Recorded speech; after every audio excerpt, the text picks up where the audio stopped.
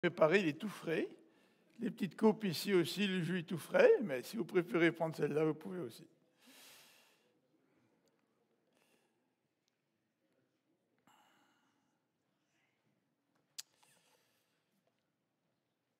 En pensant à ce repas du Seigneur ce matin, un texte euh, est venu à mon esprit et c'est ce texte-là que j'aimerais lire avec vous ce matin. Ça se trouve dans 1 Jean, 1 Jean, la première épître de Jean, chapitre 2, à partir du dernier verset du chapitre 2 et le début du chapitre 3. Donc 1 Jean chapitre 2, verset 29. Et par la suite, nous enchaînerons avec le chapitre 3. Alors 1 Jean chapitre 2, verset 29. Vous savez que Dieu est juste. Reconnaissez par conséquent que tout homme qui accomplit ce qui est juste est né de lui. Chapitre 3. Voyez combien le Père nous a aimés pour que nous puissions être appelés enfants de Dieu. Et nous le sommes. Voici pourquoi le monde ne nous reconnaît pas. C'est parce qu'il n'a pas reconnu Dieu. Mes chers amis, dès à présent, nous sommes enfants de Dieu. Et ce que nous serons un jour n'a pas encore été manifeste. Nous savons que lorsque Christ paraîtra, nous serons semblables à lui, car nous le verrons tel qu'il est. Tous ceux qui fondent sur Christ une telle espérance se rendent eux-mêmes purs, tout comme Christ est pur. Celui qui commet le péché viole la loi de Dieu, car le péché, c'est la violation de cette loi. Or, vous le savez, Jésus est apparu pour ôter les péchés, et il n'y a pas de péché en lui. Par conséquent, celui qui demeure uni à lui ne pêche pas, et celui qui pêche ne l'a jamais vu et ne l'a jamais connu. Mes enfants, que personne ne vous trompe sur ce point, est juste celui qui fait ce qui est juste. Celui qui commet le péché est du diable, car le diable pêche dès le commencement. Or, le Fils de Dieu est précisément apparu pour détruire les œuvres du diable. Celui qui est né de Dieu ne pêche pas, car la vie qui vient de Dieu a été implantée en lui et demeure en lui. Il ne peut pas pécher puisqu'il est né de Dieu. C'est ainsi que se manifeste la différence entre les enfants de Dieu et les enfants du diable. Celui qui ne fait pas ce qui est juste n'est pas de Dieu, pas plus que celui qui n'aime pas son frère. Nous allons prier ensemble.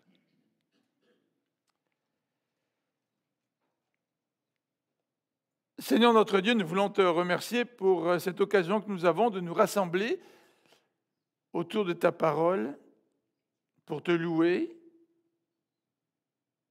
pour t'adorer,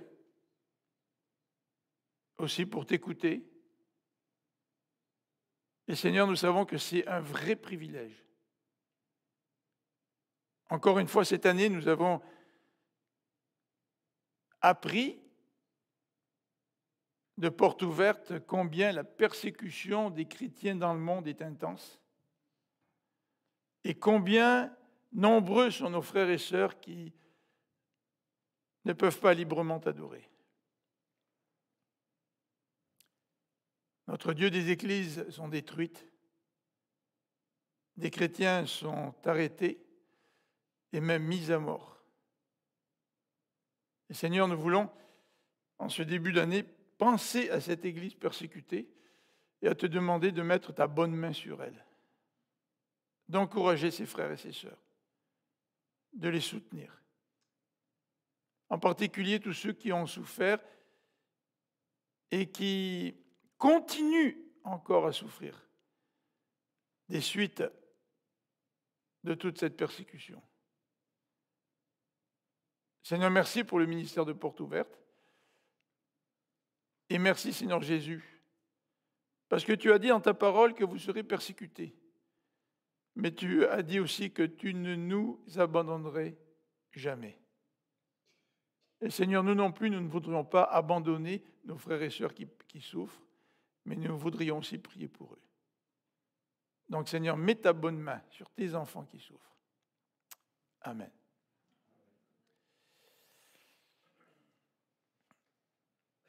Nous n'aimons pas toujours des propos bien tranchés. Et pourtant, dans ce passage que nous venons de lire, euh, l'apôtre Jean est extrêmement clair. Il nous présente deux catégories de personnes. Il n'y en a pas trois, il n'y en a pas quatre, il n'y en a pas cinq. Il y a deux catégories de personnes. Les enfants de Dieu et, comme nous dit le verset 10, les enfants du diable. Alors c'est un langage que nous n'oserions pas utiliser dans notre société aujourd'hui. On se fait accuser d'être des gens fermés. Euh, d'être arriérés. Et pourtant, Jean nous présente et les enfants de Dieu et les enfants du diable. Et c'est important parce que dans le contexte de cette épître, euh, les membres des communautés à qui Jean s'adresse pouvaient se poser la question suivante, comment être sûr de son salut Je ne sais pas si vous êtes posé cette question-là, comment être sûr de votre salut la Bible y répond de différentes manières. Euh, par exemple, l'apôtre Paul nous dit dans Romains que nous sommes sûrs de notre salut parce que Dieu a déposé dans notre cœur son Saint-Esprit et c'est l'Esprit de Dieu qui nous convainc que nous sommes enfants de Dieu. Ce n'est pas une manipulation, ce n'est pas un lavage de cerveau, c'est Dieu lui-même par son Esprit qui nous donne cette conviction-là. Mais parfois, nous pourrions nous poser des questions. Sommes-nous vraiment euh, enfants de Dieu? Sommes-nous sûrs de notre salut? En particulier si nous vivons des situations similaires à ceux des destinataires de euh, cette lettre. Euh, les chrétiens à qui Jean s'adresse faisaient face à des hérésies, notamment une hérésie qui consistait à dire que Jésus n'est pas véritablement le Fils de Dieu. Et c'est ce que dit le chapitre 2 au verset 22 et 23. Alors, qui est le menteur? C'est celui qui nie que, Jésus est le Christ. Et l'antichrist, c'est celui qui refuse de reconnaître le Père et le Fils. Tout homme qui nie que Jésus est le Fils de Dieu ne connaît pas non plus le Père. Celui qui reconnaît que Jésus est le Fils de Dieu connaît aussi le Père. Donc dans l'arrière-plan de cet épître, on voit que les chrétiens faisaient face à des hérésies à un enseignement qui consistait à dire que Jésus n'était pas véritablement le Fils de Dieu. Et certainement qu'il y a eu certains conflits dans l'Église, puisque ces faux docteurs, ces faux enseignements, à un moment donné, ont fini par quitter l'Église. Et c'est ce que nous dit le verset 19. Ces adversaires de Christ sont sortis de chez nous, mais en réalité, ils n'étaient pas des nôtres. Car s'ils avaient été des nôtres, ils seraient restés avec nous, mais ils nous ont quittés pour qu'il soit parfaitement clair que tous ne sont pas des nôtres. Alors ça, on le sait. Mais le vivre, c'est autre chose. Si par exemple vous êtes dans une communauté, puis qu'il y a des faux enseignants dans la communauté, déjà ce faux enseignement nous trouble, mais en plus on a des gens qu'on connaît qui fréquentent la communauté qui quittent. Et là, les gens pouvaient être extrêmement troublé. Et euh, l'auteur de cette épître va utiliser trois tests pour que les chrétiens puissent euh, se regarder et répondre à cette question, est-ce que je peux être sûr de mon salut? Donc Jean veut que les chrétiens soient sûrs de leur salut. Je vous ai écrit ces choses afin que vous sachiez que vous avez la vie éternelle, dit Jean dans le dernier chapitre. Alors, il va donc nous présenter trois tests et j'ai repris un petit tableau qui est assez clair, qui est tiré de la Bible d'études du semeur, qui nous présente ces trois tests. Alors regardons ensemble ce petit euh, tableau euh, à l'écran. Alors vous voyez, BDS et la Bible du semeur, je l'ai pris de la Bible du semeur. Vous avez trois tests sur la colonne de gauche, c'est-à-dire la colonne qui comprend les... Euh, est-ce qui marche Oui, il marche qui comprend la description là, de ces tests. Vous avez A, B et C. Il s'agit donc du péché et de l'obéissance. est-ce que tu obéis à Dieu ou est-ce que tu vis dans le péché? Ça, c'est un premier test. Le deuxième test, c'est le test de l'amour ou de la haine. Est-ce que tu aimes ton prochain ou est-ce que tu es ton prochain? Et le troisième test, euh, c'est celui de l'erreur ou de la vérité. Si tu es un véritable enfant de Dieu, tu vas demeurer dans la vérité et non pas dans l'erreur. Et ces trois tests nous sont présentés en boucle dans l'épître de Jean. Alors, il, vous faut nous faut lire le tableau de haut en bas. Regardez la boucle 1. La boucle 1 nous dit que euh, le, thème péché et obéissance apparaît tout d'abord au début de l'épître, jusqu'au verset 2 de chapitre 2. Ensuite, le deuxième thème continue, chapitre 2, verset 3, c'est-à-dire l'amour et la haine. Ensuite, le troisième test continue, verset 12, chapitre 2, jusqu'au verset 28. Mais il reprend les mêmes trois thèmes une deuxième fois. Ça, c'est la colonne intitulée Boucle 2. il reprend les mêmes thèmes une deuxième fois. Donc, chapitre 2, verset 29, et au chapitre 3, verset 10, le texte qu'on a lu, nous parle du premier test, pour la deuxième fois, péché et obéissance. Ensuite, au chapitre 3, verset 11 à 24, il aborde pour la deuxième fois le deuxième thème, amour et haine. Et finalement, au chapitre 4, au début du chapitre 4, il aborde le troisième thème, l'erreur et vérité. Mais Jean va de nouveau, dans une troisième, une troisième boucle, aborder pour une troisième fois ces trois thèmes. D'accord? Donc Jean procède un petit peu par spirale. Il commence par un thème, le deuxième, troisième, hop, il revient au premier, au deuxième, au troisième, hop, il revient au premier, au deuxième et troisième. Donc c'est un petit peu la structure de cette épître. Et le texte que nous avons choisi ce matin, c'est celui dont qui parle de l'obéissance et du péché. Donc c'est un test pour savoir si nous sommes véritablement enfants de Dieu. Alors je voudrais donc regarder avec vous euh, rapidement ce, ce passage et répondre à cette question. Comment être sûr de son salut? Bien, premièrement, en nous rappelant qui est Jésus-Christ. C'est ce que euh, Jean va faire dans ces quelques versets. Il va nous rappeler qui est Jésus-Christ. Oh, il ne va pas faire toute une description exhaustive, mais il va nous rappeler certains éléments. Ensuite, il va nous décrire euh, quel est l'enfant de Dieu? Qu'est-ce que c'est qu'un enfant de Dieu? Et troisièmement, il va nous décrire aussi qu'est-ce que c'est qu'un pécheur. Alors je vous invite à regarder donc ces, euh, descriptions ensemble. Alors, premièrement, description de Jésus. Qu'est-ce que le passage nous dit? Bien, le passage nous dit, euh, au dernier verset du chapitre 2, vous savez que Dieu est juste. Hein? Dieu est juste. Donc, Dieu est juste. Il va reprendre dans euh, ces quelques versets en disant que Dieu est juste, mais Jésus aussi est juste. C'est ce qu'il nous dit au verset 7. Donc, Jésus, il est juste. Et euh, le verset 7 nous dit que personne ne vous trompe sur ce point, est juste celui qui fait ce qui est juste, tout comme Christ lui-même est juste. on a donc une description de Jésus, euh, il est juste. De plus, Jean va insister au, chapitre 3, verset 5, en donnant une indication supplémentaire en rapport avec Jésus, en nous disant que en Jésus, il n'y a pas de péché. Verset 5, 5b, euh, la deuxième partie du verset 5. Il n'y a pas de péché en Jésus. Et il va terminer sa description de Jésus en nous disant au verset 8 et aussi au début du verset, euh, du verset 5, il va nous dire que Jésus est venu pour détruire le péché et ôter le péché. C'est intéressant parce que ça nous permet de nous situer par rapport à notre propre péché Parfois, nous minimisons notre propre péché en insistant sur la grâce de Dieu. Mais la raison pour laquelle Jésus est venu, c'est pour détruire le péché. Détruire, ça veut dire que ce péché, à un moment donné, ne sera plus là. Il va s'en débarrasser. Donc c'est une incitation pour nous aussi à ressembler à Jésus. Et Jésus est venu, donc non seulement pour détruire, mais pour ôter le péché. Alors voilà la description de Jésus.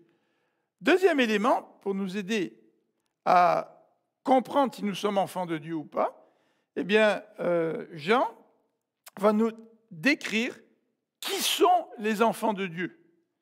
Alors, qui sont les enfants de Dieu? Alors, le terme, le terme enfant est déjà assez clair en soi. Lorsque nous sommes un enfant, c'est que nous sommes nés de parents.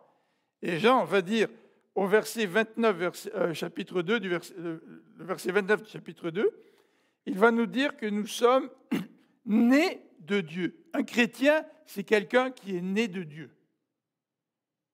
Donc, je, je ressemble à Dieu, je fais partie de sa famille, parce que je suis né de Dieu. Alors, si tu as des doutes pour savoir si tu es chrétien, eh bien, Jean nous dit dans ce passage, rappelle-toi qui est un chrétien. Un chrétien, c'est quelqu'un qui est né de Dieu, donc il ressemble à Dieu, il a la nature de Dieu en lui. Et le chapitre 3, verset 1er, nous dit, non seulement nous sommes nés de Dieu, mais il nous dit, voici combien le Père, voyez combien le Père nous a aimés, pour que nous puissions être appelés enfants de Dieu. Si nous sommes nés de Dieu, si nous sommes appelés enfants de Dieu, c'est parce que nous avons été l'objet de l'amour de Dieu pour nous. Alors, un chrétien, c'est quelqu'un qui est né de Dieu, et il est né de Dieu parce que Dieu l'a aimé. Et ce chrétien est l'objet de l'amour de Dieu. Et nous le savons, le Christ est mort pour nous. Dieu nous a aimés à tel point qu'il a envoyé son Christ qui est mort pour nous, pour pouvoir effacer nos propres fautes, subir notre châtiment, notre condamnation, afin que nous puissions être épargnés de la colère de Dieu. Ça, c'est l'amour de notre Dieu. Et au verset 6 de cette épître de Jean, la description des enfants de Dieu comprend un autre élément, c'est que puisque nous sommes maintenant enfants de Dieu, nous sommes unis à Christ. Ça, c'est une expression qui est vraiment forte au verset 6. Nous sommes unis à Christ. Par conséquent, celui qui demeure uni à Christ ne pêche plus. Donc ce n'est pas étonnant. On est uni à Christ, on est un enfant de Dieu, on a la même nature que Dieu, on est l'objet de l'amour de Dieu. Donc, nous dit Jean, bien, si c'est ça ton statut, ben, tu ne demeureras pas dans le péché. Alors, sa description des enfants de Dieu continue. Euh, Jean nous dit au verset 3 que sept enfants de Dieu, six enfants de Dieu, ont une espérance. Alors ça, c'est quand même intéressant. Dans ce monde perdu, dans ce monde de souffrance, les enfants de Dieu ont une espérance. On n'est pas sans, sans, une encre sans pouvoir être enraciné. On est enraciné dans la personne du Christ, mais on a aussi une espérance, et cette espérance nous porte. Alors regardons la description de l'espérance au verset 3. verset 3, ou plutôt euh, à partir du verset 2. Mes chers amis, dès à présent nous sommes enfants de Dieu, vous voyez comme il insiste Jean, et ce que nous serons un jour, n'a pas encore été rendu manifeste. Ça ne s'est pas encore manifesté. C'est que notre espérance, c'est qu'il y aura une transformation dans notre vie. Et c'est ce que Jean va expliquer dans les paroles suivantes. Nous savons, on sait, le chrétien le sait. Tu veux passer le test pour savoir si tu es chrétien, est-ce que tu sais qu'un jour tu vas être transformé? Nous savons que lorsque Christ paraîtra, nous serons semblables à lui, car nous le verrons tel qu'il est. Ça, c'est une espérance. Hein. Je ne sais pas si parfois vous luttez contre le péché, je ne sais pas si le péché vous affecte, mais on a une espérance. C'est qu'un jour, lorsque nous verrons le Christ face à face, le Seigneur va ôter tout péché de notre cœur. Il, est venu pour détruire le péché, le Christ. Il est venu pour ôter le péché. Et ultimement, cela va se faire lorsque nous nous retrouverons face à face avec lui. Alors dans notre cheminement ici sur Terre, nous apprenons à lutter contre le péché. Nous apprenons à nous détourner du péché, non pas d'une façon parfaite, mais nous sommes dans un processus, ce que la Bible appelle un processus de sanctification. Nous apprenons à vivre dans la pureté. Et d'ailleurs, dans euh, d'autres versets de ce texte, Jean va rajouter un élément en décrivant le croyant en disant que le croyant ou les enfants de Dieu sont justes. Est-ce qu'on est toujours juste? On n'est pas toujours euh, juste. Ce matin, j'écoutais à 7 heures euh, l'émission L'heure de la bonne nouvelle, et le sujet qu'ils ont abordé, c'est celui de la vengeance. Intéressant parce qu'ils ont fait un pop vox là, et puis la plupart des gens qui sont interviewés, je crois que pratiquement tous ont dit que la vengeance, c'est pas très bon. À court terme, ça, ça te fait peut-être un petit plaisir, mais non, non, c'est pas bon à long terme. Je crois qu'il y a une seule personne qui a dit que la vengeance était bon dans le cas où on fait du mal à un enfant. Tu c'est intéressant de voir leur interview dans la rue en accostant toutes sortes de personnes et en leur demandant Qu'est-ce que vous pensez de la vengeance? Est-ce que c'est bon, se venger? Alors j'ai écouté un petit peu euh, cette émission, puis ils ont, ils ont parlé aussi de justice. Euh, le chrétien, nous dit un Jean, c'est quelqu'un de juste. Est-ce que ça veut dire que c'est quelqu'un de parfait? Absolument pas. La Bible nous dit que le chrétien, c'est quelqu'un que Dieu considère comme juste parce que Dieu l'a pardonné, il lui a pardonné ses péchés. Donc, il reçoit une justice qui lui est donnée. Ce n'est pas la sienne. Il reçoit la justice de Jésus parce qu'il est pardonné. Donc, les chrétiens sont considérés par Dieu comme justes, même s'ils ne sont pas parfaits. Et euh, donc, c'est ce que nous dit les versets 9 et 7. Les chrétiens, les enfants de Dieu sont justes, mais sont aussi purs. Ouais, mais tu sais, moi je suis conscient que j'ai des péchés, puis de toute façon la grâce de Dieu me pardonne. Donc la pureté, c'est pas tellement, c'est le moindre de mes soucis. Parce que moi je suis bien pur, c'est Dieu qui me purifie. Ah, je suis bien juste, c'est Dieu qui me juste. Mais moi, je, sais, n'ai pas besoin vraiment de me casser la tête à lutter dans ma vie pour être juste et pour être pur de façon pratique. Eh bien, Jean va, dans sa description du méchant, nous apporter des éléments qui vont nous stimuler à marcher dans la justice, à rechercher la pureté. D'ailleurs, dans ce verset 2, lorsque Jean dit que nous savons que nous serons semblables à Christ lorsqu'il va apparaître, et que nous serons en sa présence. il nous dit quand même au verset 3, tous ceux qui fondent sur Christ une telle espérance, c'est-à-dire tous ceux qui sont chrétiens, tous ceux qui espèrent la venue de Christ, qui y croient, tous ces gens-là qui seront rendus à l'image de Jésus-Christ, ben, ils ont une motivation intérieure qui les pousse à se rendre purs comme Christ est pur. Regardez le verset 3. Tous ceux qui fondent sur Christ une telle espérance se rendent eux-mêmes purs, tout comme Christ est pur. Alors je ne peux pas être pur comme Christ. Mais ici, le texte nous dit que Christ est mon modèle et ma motivation. Donc comme Christ est pur, ben moi j'essaye, je veux vivre dans la pureté, parce que je ressemble à Christ, parce que je suis enfant de Dieu, parce que je lui appartiens. Alors regardons un petit peu la description maintenant que Jean fait du méchant, c'est-à-dire du pécheur. Nous envoyons une description au verset 4. Qu'est-ce que c'est que le pécheur? Bien, Le pécheur, c'est celui qui commet le péché. C'est celui qui viole la loi de Dieu. Car le péché, c'est la violation de la loi de Dieu. C'est une transgression de la loi de Dieu. Voilà qui est le pécheur.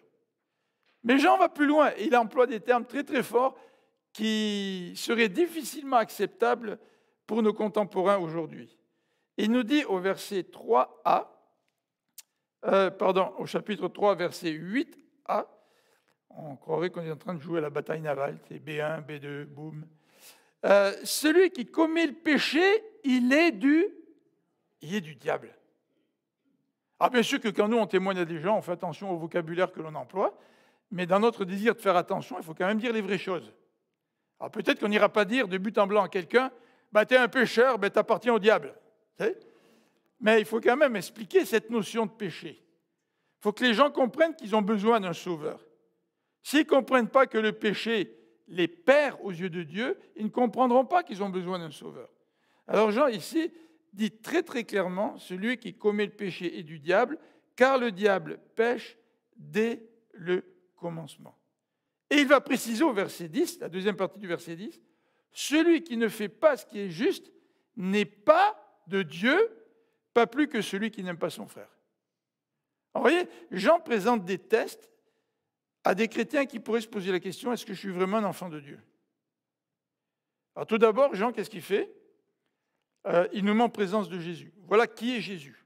Jésus est vraiment le Fils de Dieu, il est juste, il est pur. Il est, venu pour détruire les péchés, ôter le péché. Maintenant, après ça, Jean nous, présente la, description d'un enfant de Dieu. Qu'est-ce que c'est qu'un enfant de Dieu? Et nous pouvons euh, nous évaluer, en quelque sorte, réfléchir en nous disant, ouais, j'ai des doutes, est-ce que je suis né de Dieu? Mais si je suis né de Dieu, ça veut dire que je suis aimé de Dieu, ça veut dire que je suis uni à Christ, ça veut dire que j'ai une espérance. Est-ce que je l'ai vraiment, cette espérance? Est-ce que je marche dans la justice? Est-ce que je marche dans la pureté?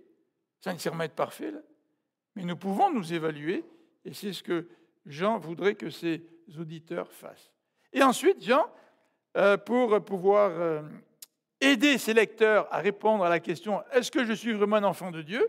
Ben, Il décrit qui est le pécheur. Est-ce que euh, tu appartiens au diable? Est-ce que tu violes la loi de Dieu? Est-ce que tu ne fais pas ce qui est juste? Parce que le troisième élément dans cette description du pécheur, c'est que le pécheur ne fait pas ce qui est juste, nous dit le verset 10.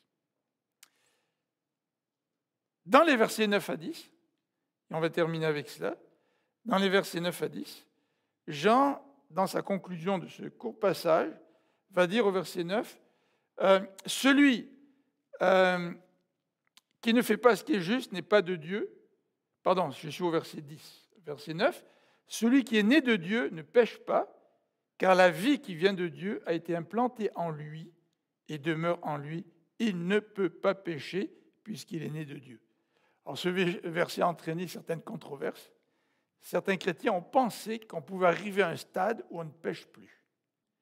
Mais dans la traduction, on pourrait très bien traduire celui qui est né de Dieu ne persévère pas dans le péché. C'est-à-dire que celui qui est né de Dieu ne fait pas du péché son style de vie. Ça ne veut pas dire qu'il ne, pêchera plus jamais parce qu'il a atteint un stade où il ne pêche plus. Non, non. Euh, Jean est en train de dire, celui qui est né de Dieu ne fait pas du péché son style de vie. Transgresser la loi, ce n'est pas ton style de vie. Et quand tu transgresses la loi, dit Jésus, Jean le dit aussi, euh, Jean dit que nous avons un avocat auprès du Père. Si on pouvait atteindre un niveau où on ne pêcherait plus, on n'aurait plus besoin d'avocat. Nous avons besoin d'un avocat. Mais Jean nous dit, parce que tu es un enfant de Dieu, tu ne vis pas d'une façon continue. Ce n'est pas ton style de vie que de vivre dans le péché. Et au verset 9, euh, Jean précise pourquoi. C'est parce que la vie qui vient de Dieu a été implantée en toi. Tu veux savoir si tu es chrétien? Ben, Pose-toi la question comment tu réagis face au péché? Est-ce que le péché, bon, il n'y a rien là. Est-ce que pour toi, euh, transgresser la loi de Dieu, il n'y a rien là? Ou est-ce que quand tu transgresses la loi de Dieu, l'Esprit Saint qui est en toi te travaille, te parle, tu te sens mal à l'aise, jusqu'au moment où tu viens confesser ta faute devant le Seigneur. Alors, au verset 10, il va conclure en disant, c'est ainsi que se manifeste la différence entre les enfants de Dieu et les enfants du diable. Ok, vous êtes troublés là parce qu'il y a des faux docteurs parmi vous qui disent que Christ n'est pas Dieu. Vous êtes troublés parce qu'il y a des gens parmi vous qui ont quitté l'Église et qui en fait n'appartenaient pas à la communauté. Ça te trouble. Puis tu te poses des questions. Tu te dis, est-ce que moi je suis vraiment enfant de Dieu ou pas? Eh bien, Jean veut te rassurer en te montrant qu'il y a différence entre un enfant de Dieu et quelqu'un qui n'appartient pas au Seigneur. Et le verset 10 le dit, celui qui ne fait pas ce qui est juste n'est pas de Dieu, pas plus que celui qui n'aime pas son frère. Et par ces dernières paroles, pas plus que celui qui n'aime pas son frère, Jean va introduire une section où il va parler de l'amour pour les frères. Celui qui est son frère n'appartient pas à Dieu. Donc il va utiliser, il va se référer pour la deuxième fois au deuxième test, celui de l'amour. On va prier ensemble.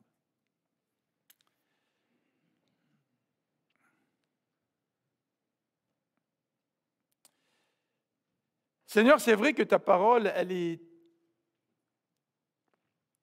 extrêmement forte dans certaines de ses expressions. Soit tu appartiens à Dieu, soit tu appartiens au diable. Et Seigneur, c'est difficile euh, d'accepter cela, surtout quand on essaie de mener une bonne vie. Comment moi qui essaie de mener une bonne vie, j'appartiendrai au diable? Pourtant, Seigneur, c'est ce que tu dis. Tu dis que même ceux qui essaient de mener une bonne vie sont coupables de transgresser la loi et ont besoin d'être pardonnés. Nous avons tous besoin de naître de Dieu. Et Seigneur, merci parce qu'à travers ces paroles, tu veux que nous puissions avoir l'assurance de la vie éternelle. Tu veux que nous puissions savoir que nous sommes enfants de Dieu.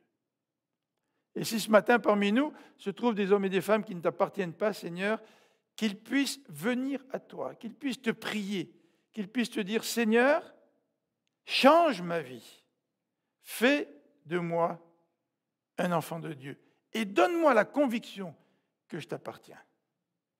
Seigneur, peut-être aussi parmi nous se trouvent des hommes et des femmes ce matin qui hésitent, qui ne savent pas trop s'ils t'appartiennent ou pas. Seigneur, éclaire par ton esprit et ta parole. Nous t'en prions. Amen. Alors pour ceux qui